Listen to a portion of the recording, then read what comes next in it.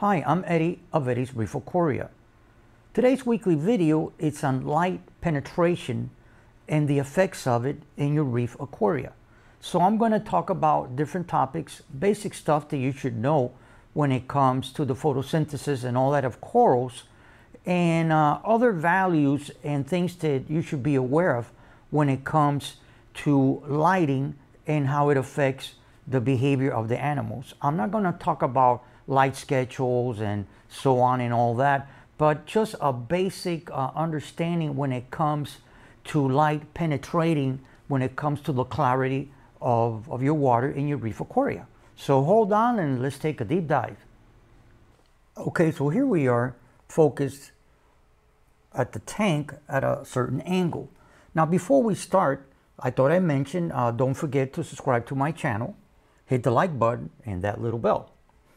So starting about when it comes to light penetration in your reef aquaria, I'm going to go through basic uh, concepts and basic things that I've been researching and that all of you should actually know.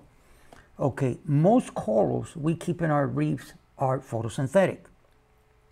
Now, zooxanthellae is a part of dinoflagellates in which plays a symbi uh, symbiotic relationship between photosynthesis and zooxanthellae, which lives in the coral tissues.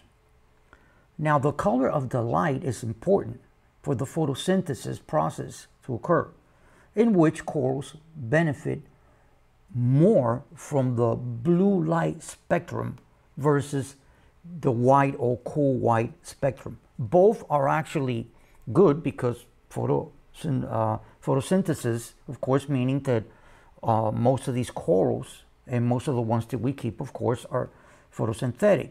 But more, and more, uh, I would say the blue light spectrum.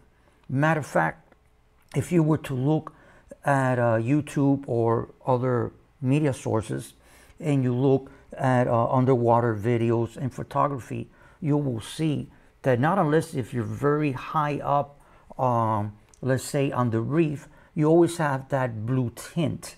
Uh, it's not like bright, bright white.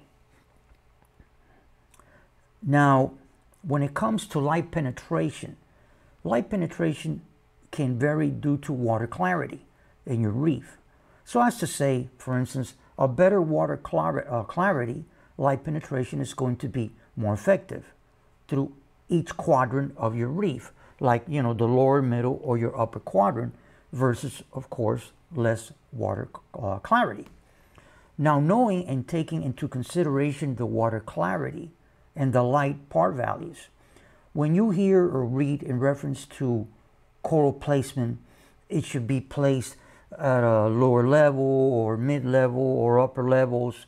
This that I'm talking about is, you know, like when you go to an LFS or you're uh, going to look uh, in reference to the specs of a specific coral and it says, no, it should be placed on the middle level or on the lower level or on the higher level. Okay, this can actually be true, but yet at the same time false at the same time. Now, why? Because in reference to water uh, clarity and, and the par values that you have when it comes uh, to the light source, the different lights that you're using. Now,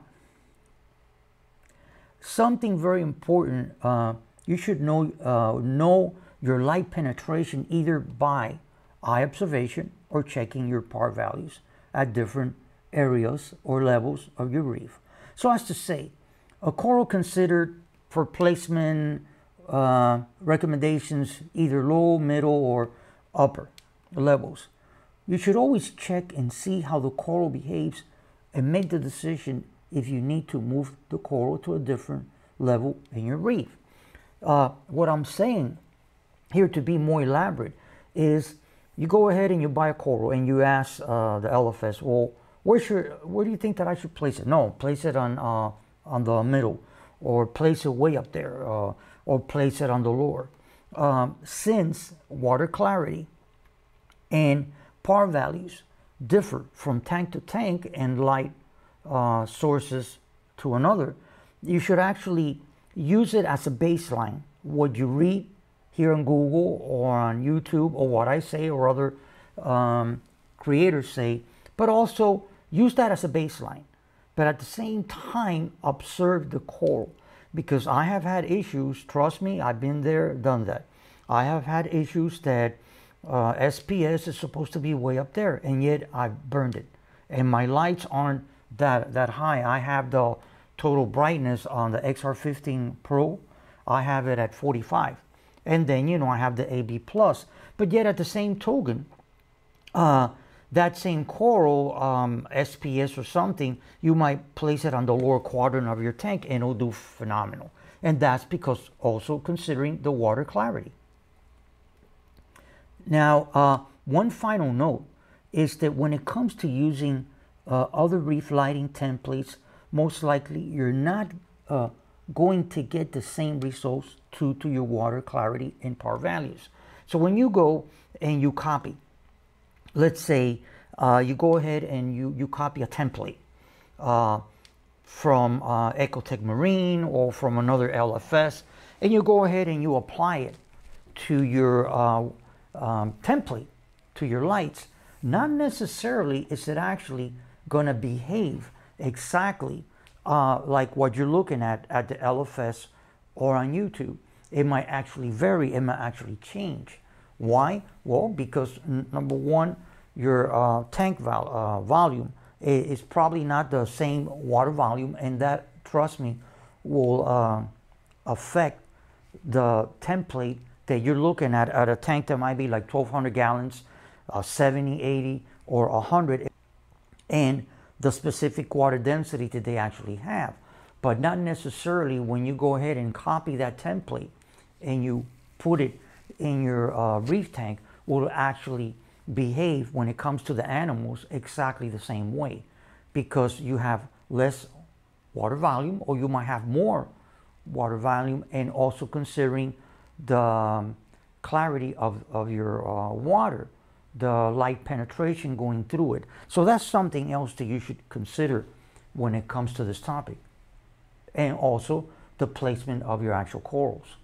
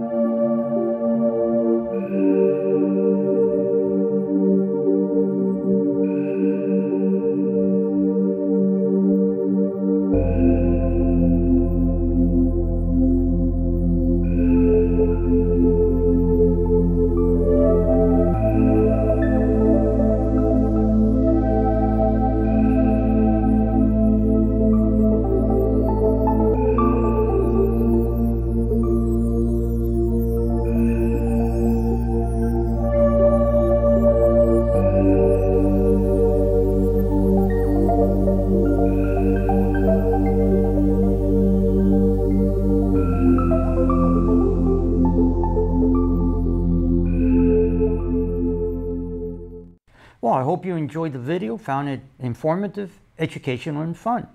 If you did, like I said before at the beginning of the video, subscribe to my channel and hit the like button and that little bell.